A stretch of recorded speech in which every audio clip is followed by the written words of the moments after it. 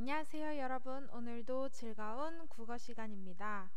오늘 마지막 시간으로 홍길동 읽기를 끝내보도록 하겠습니다. 자 열 번째고요. 열 장이고요. 제목은 아버지의 죽음입니다.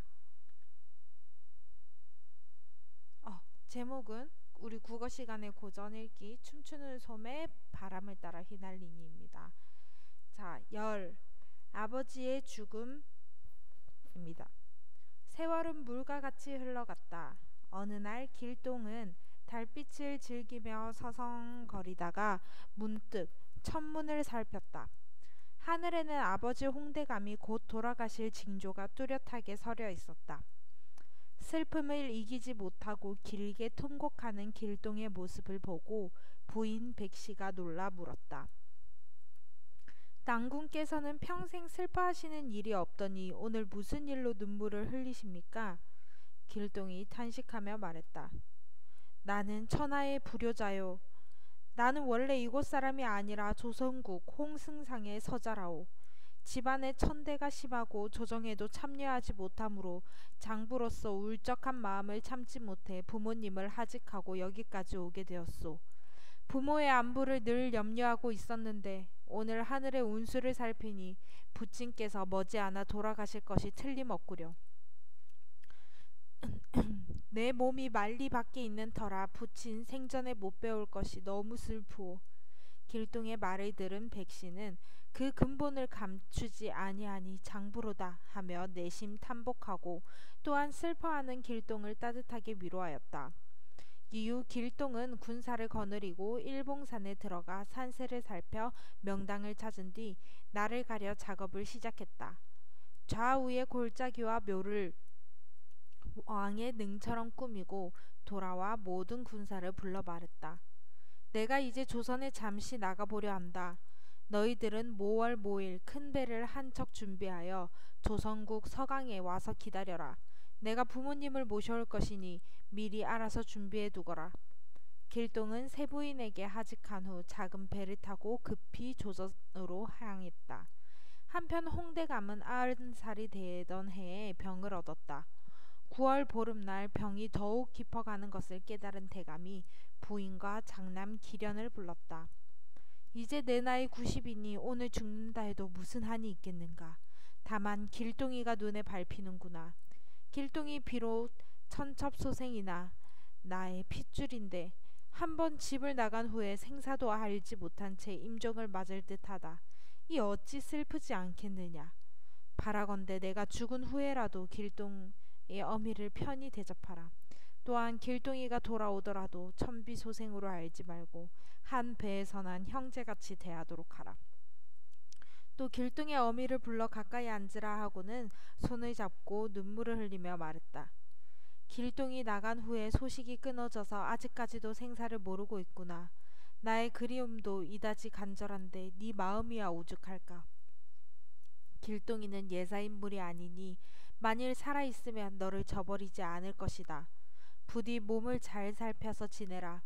내가 황천으로 간다 해도 너희를 잊지 않으리라. 이 말을 마지막으로 대감은 세상을 떠났다. 부인이 기절하고 여기저기서 통곡성이 곡성이 터져 나왔다.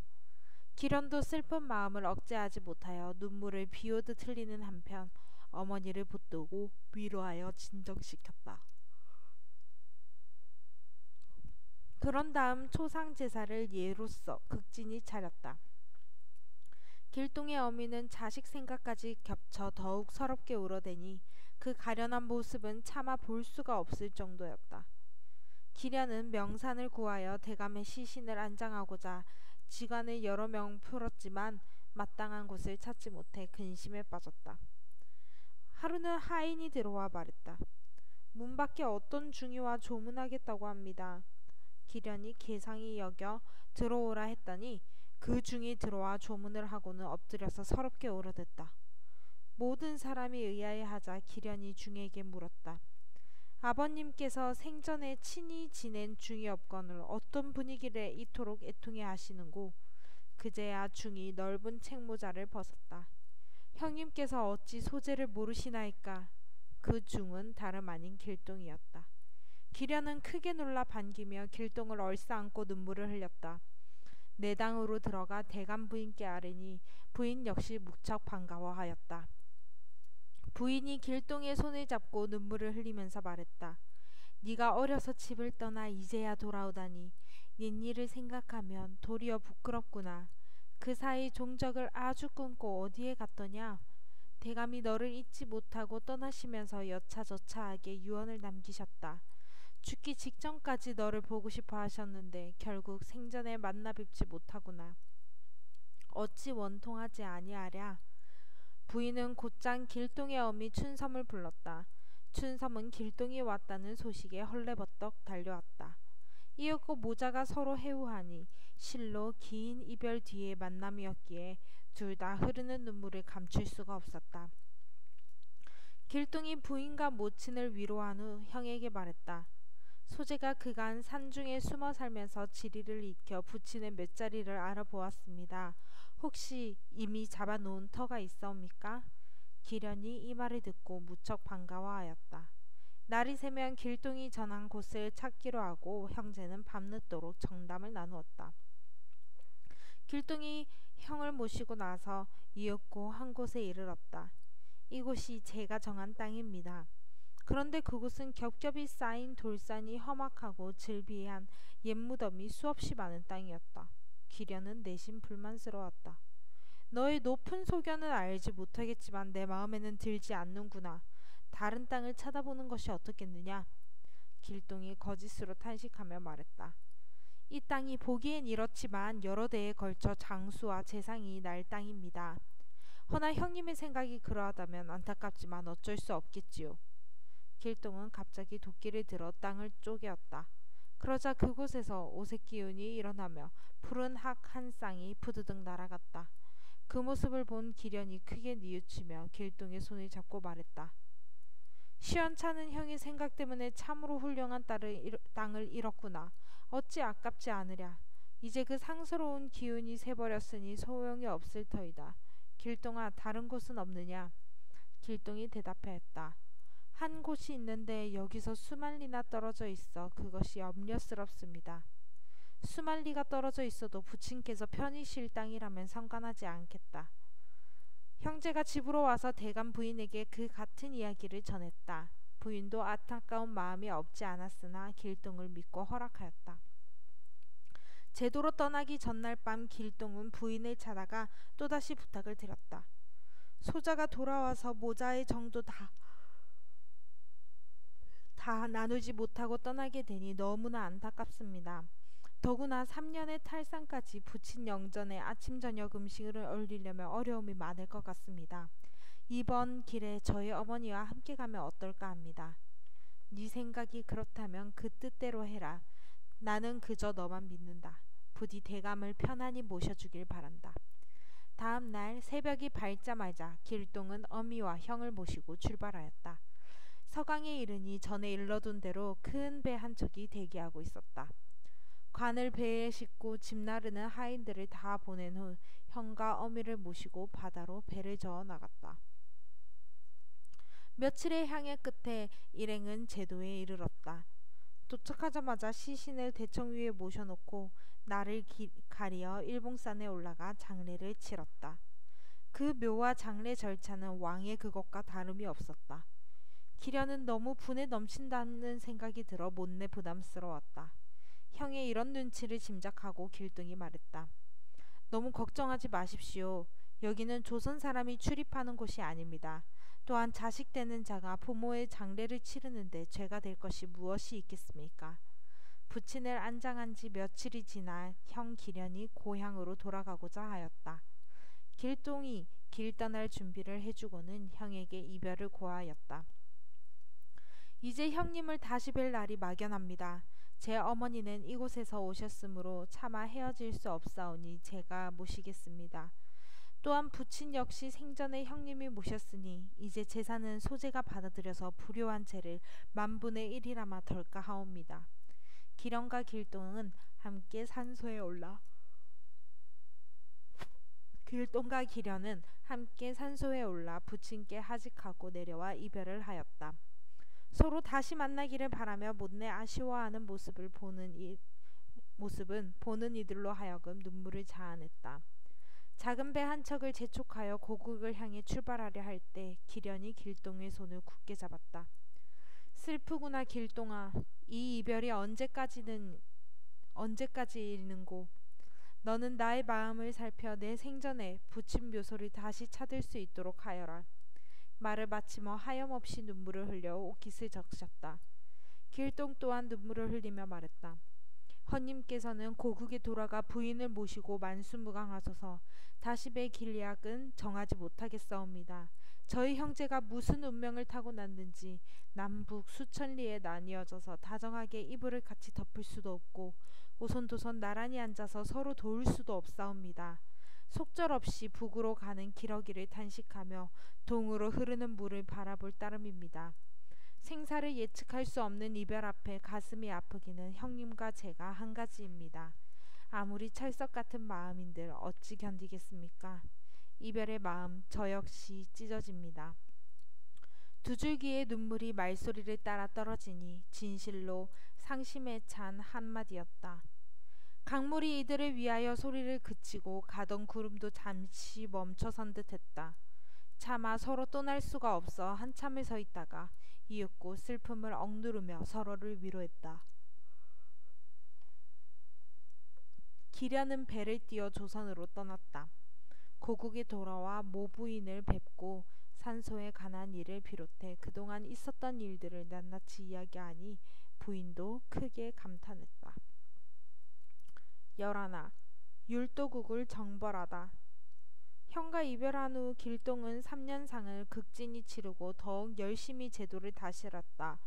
군사들을 동원하여 농업에 힘쓰고 군법을 철저히 시행하였다. 양식은 점점 넉넉해지고 수만 군사들의 무예와 군법은 천하에서 제일이었다. 이때 이웃나라 율도국의 왕이 나라의 일에는 힘쓰지 않고 주색에 빠져 지내고 있었다. 자연히 조정에는 간신들이 들끓었으며 율도국 백성들이 도탄에 빠져 아우성치는 소리가 하늘을 찔렀다. 일찍이 율도국을 눈여겨 보았던 길동은 이곳을 쳐 무고한 백성들을 구해내기로 마음먹었다. 모든 군사들은 한데 모아놓고 이에 대해 의논했다. 우리가 어찌 이 섬만 지키면서 세월을 헤아리고 있겠는가? 지금 이웃나라 율도국의 민심이 흉흉하고 백성들은 큰 고통을 겪고 있다고 하는구나.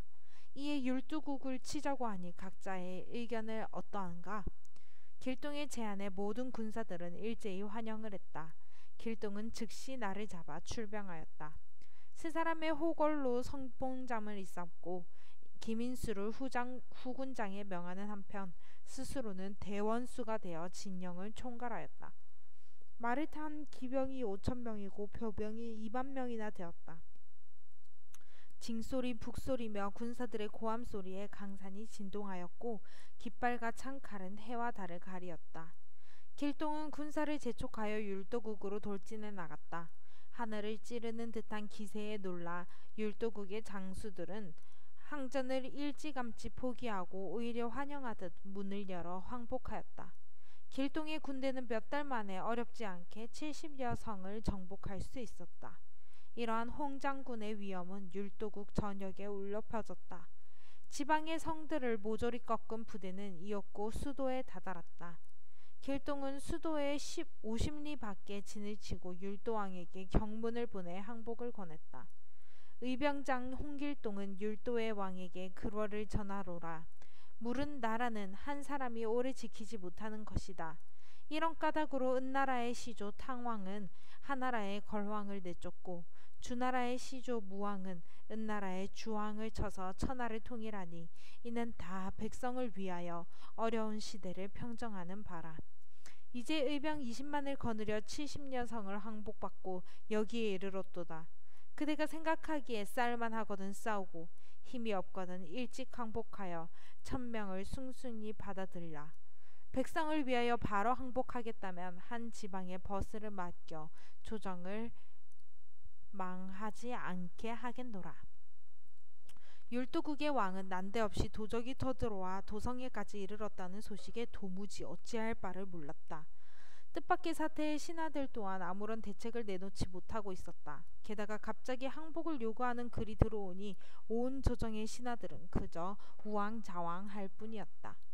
율도국의 장하는 온통 술렁거렸다. 여러 신하들이 율도왕에게 아뢰었다.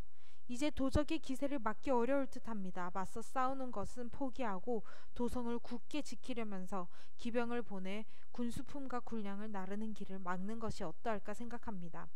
군수품과 군량이 없으면 적은 싸우지도 못하고 물러가지도 못할 것입니다. 그리하면 몇 달 안에 적장의 머리를 베어 성문에 달 수 있을 것입니다. 이렇듯 나름대로 계책을 짜고 있던 중 숨은 장이 급히 들어와 아뢰었다. 적병이 벌써 도성 십리 밖에 진을 쳤습니다. 수문장의 말에 놀란 신하들이 엎드려 아뢰었다. 형사가 매우 급박해졌습니다. 적의 기세로 보건디 급히 적장에 항복 문서를 정하는 것이 좋을 듯하옵니다. 백성의 재물과 군사들의 생명을 하나라도 더 지켜주는 것이 대왕께서 마지막으로 베풀 수 있는 성은일 것입니다. 속히 결단하옵소서. 율도왕은 신하들의 말에 크게 노하였다. 저기 성 앞에 임하였건을 어찌야 앉아서 기다리란 말인가. 나라가 망하면 내 몸이 돌아갈 데가 없고 죽어 묻힐 땅도 없느니라.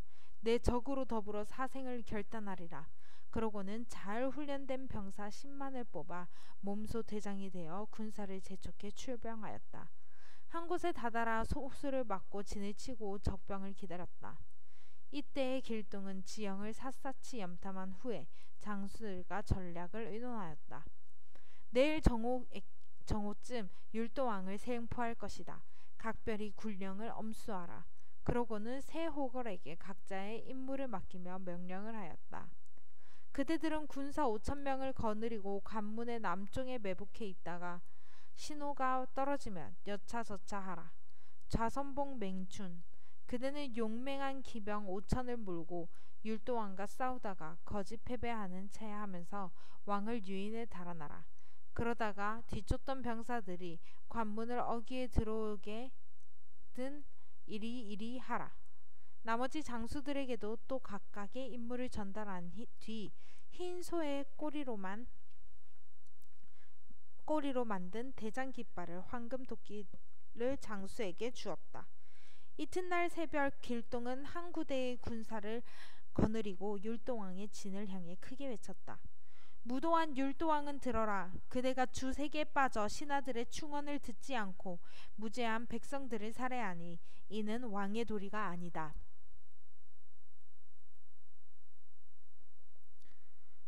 하늘이 어찌 그냥 들 수 있겠는가? 이런 이유로 내 의병을 일으켜 여기에 이르렀느니 빨리 나와 항복하여 백성을 구하라.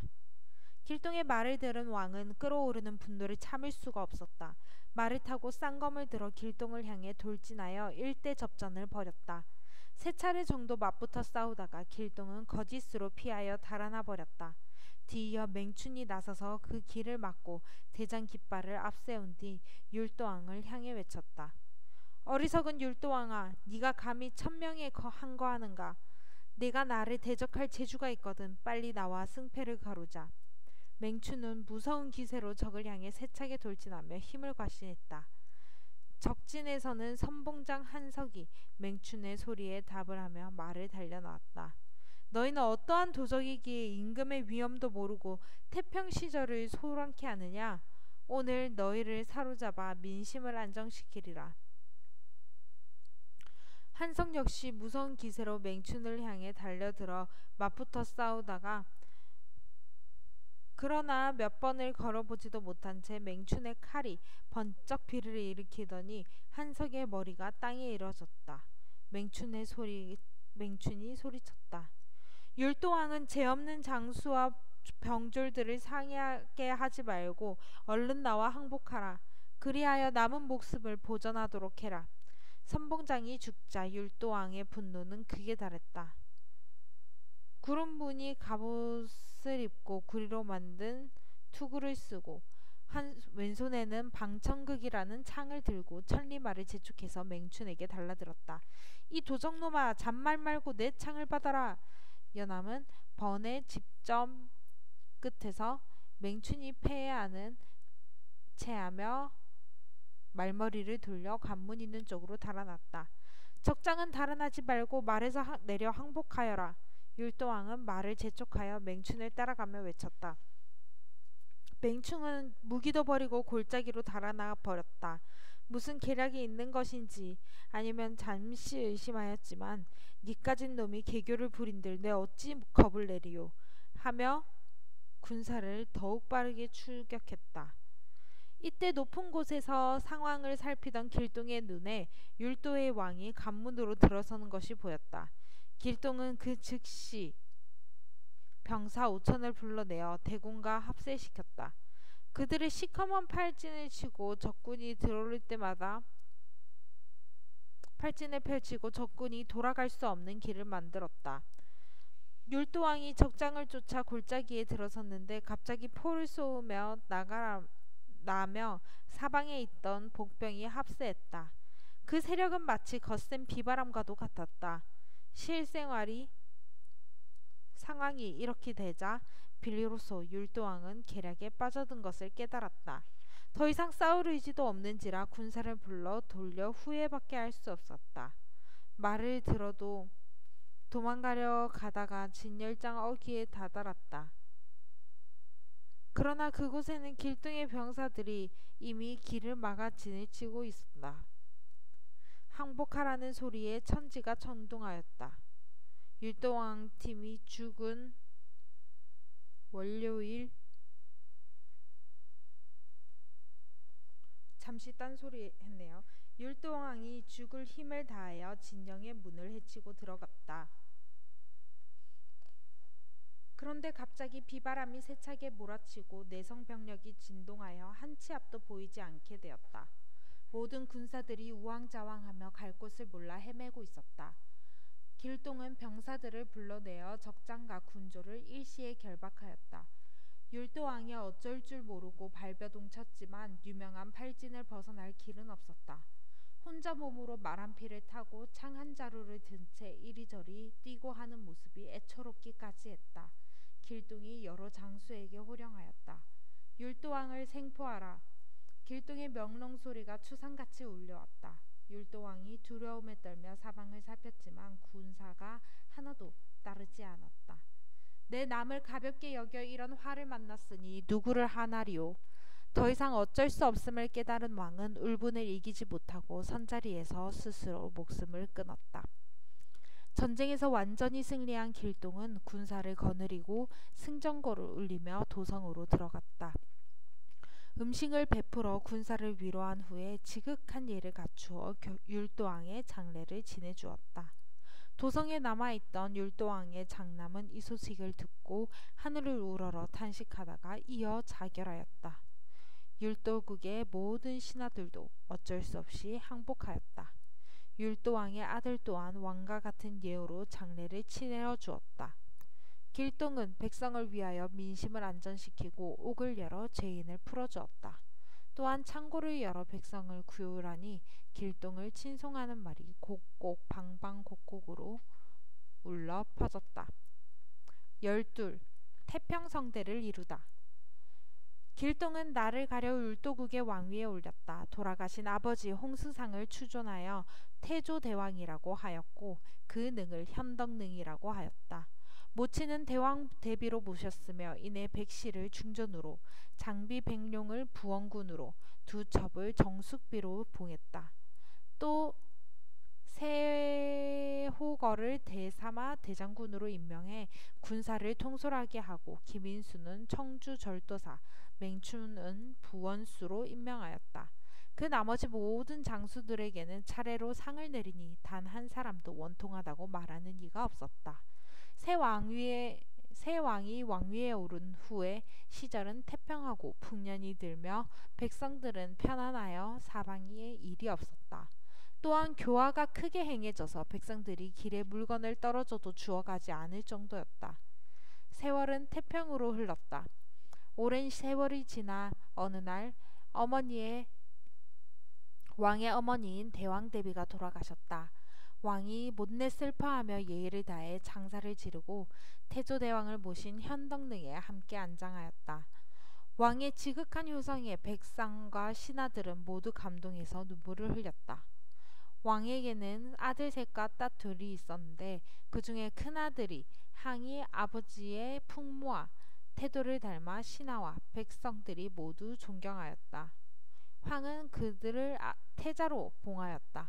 어느 날 율동왕 홍길동은 왕자에서 물러나기로 마음먹었다.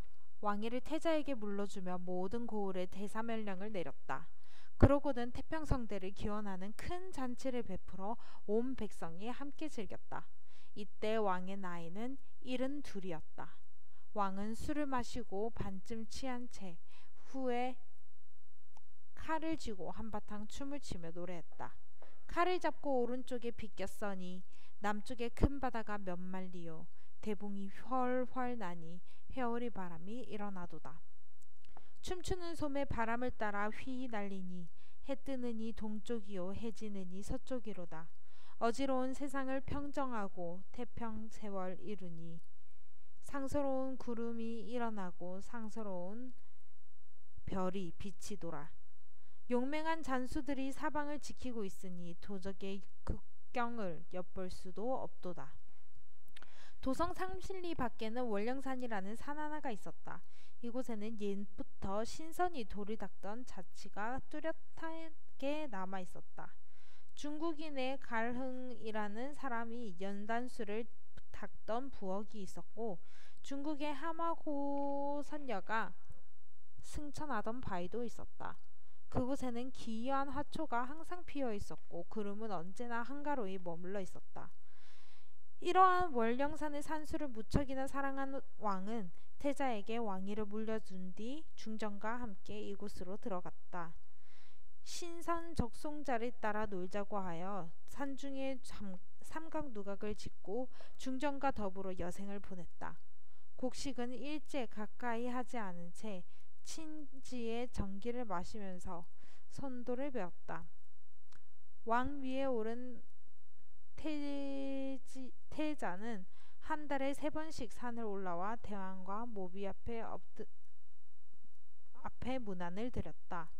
어느 날이었다. 내성 병력의 천지를 진동하고 오색 구름이 영월산을 휘감았다. 이었고 우레 소리가 거치더니 하늘이 맑게 개이며 신악 소리가 잔잔하게 울렸다. 이후 대왕과 대왕 모비는 자취도 감추지 않은 채 살아버렸다. 사라져버렸다. 이 소식을 들은 왕이 급히 월령산에 돌아갔지만 종적을 찾을 수가 없었다.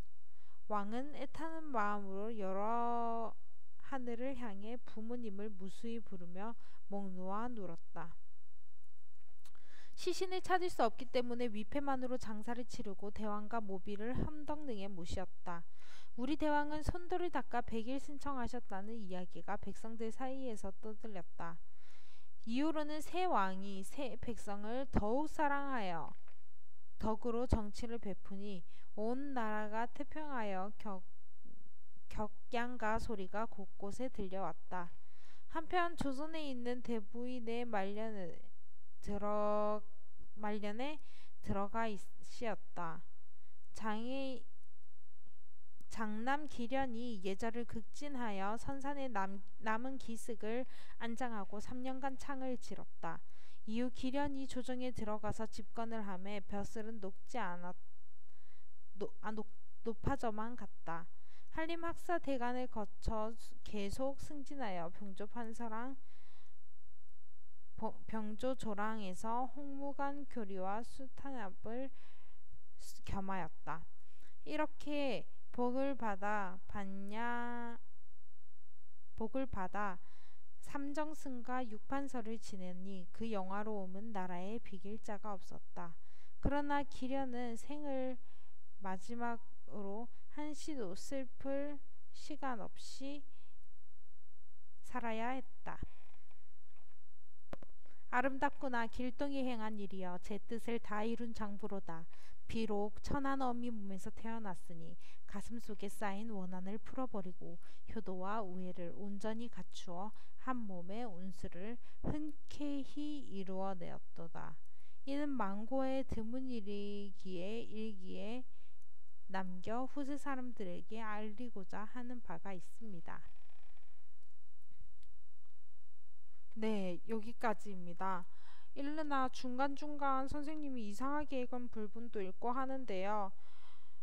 아, 읽으면서도 약간 졸린데 듣는 여러분들은 어떠겠어요? 그쵸?